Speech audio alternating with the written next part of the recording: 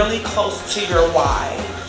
Why you started the business, why you know that the business needs to exist, because you're going to meet people who would say, oh, it would be cool if it does this and if it does that.